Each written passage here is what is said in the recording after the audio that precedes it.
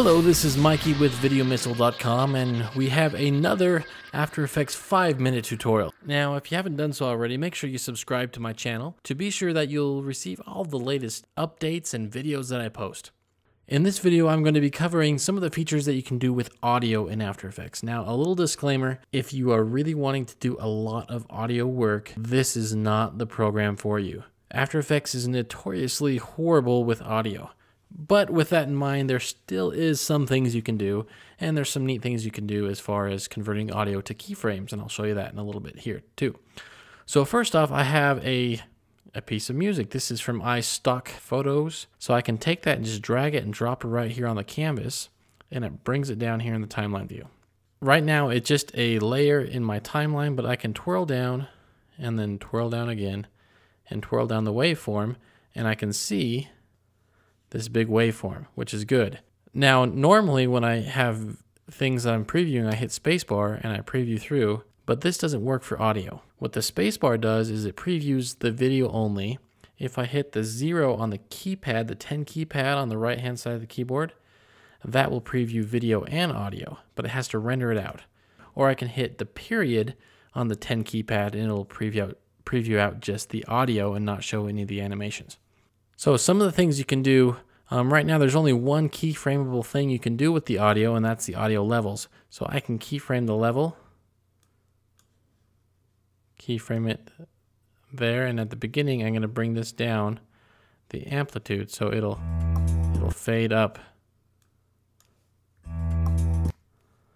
You can hear that fade. We can make that fade over a longer distance. By default the only things you can do as far as keyframing with audio. But there are some audio effects. Go up to effects, audio, and you can turn it backwards. There's some bass and treble effects, a delay, flanger and a chorus, um, reverb, different things, an EQ, which is important. We always need to EQ our audio. So if you if you're doing some audio editing, there are some things you can do. But what I really want to show you is audio keyframes. So I want to show you how it works. What you do is you right click on the layer and then right there it says keyframe assistant and then you go to convert audio to keyframes. And what it does is it creates a null object and on that null object are three effects. It says left channel, right channel, and both channels. And as we scrub through, you can see over here those values are changing. And what it's doing is it's taking the amplitude in the left channel or the right channel or both channels combined and it's turning it into numbers. So what I like to do is since it already applies it to a null object, I can go in here, open these up, and I'm going to just take both channels. And I'm going to option, hold down option or alt on the keyboard and click on the stopwatch and then use the pick whip and grab the slider. You can see up here the null object moved up into the corner and now it is moving with the beat. So if I take some text, audio keyframe, and then I can parent that to the null object, and now it will move with the beat. Now what's going on here is it's moving in both X and Y axis. So I can come in here to this expression where I connected the position to the channel, the both channels, and you can see what's going on is it's it's applying all that data into a variable named temp. And then it's putting that variable into the x and y.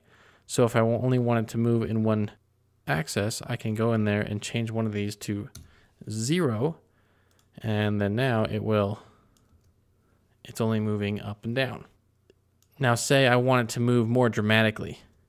And that's that's really easy to do. What I can do here is right here where it is applying to the to the variable, I can go before the semicolon and put a star for times and let's say 10. And what it's going to do is going to take that value and times it by 10.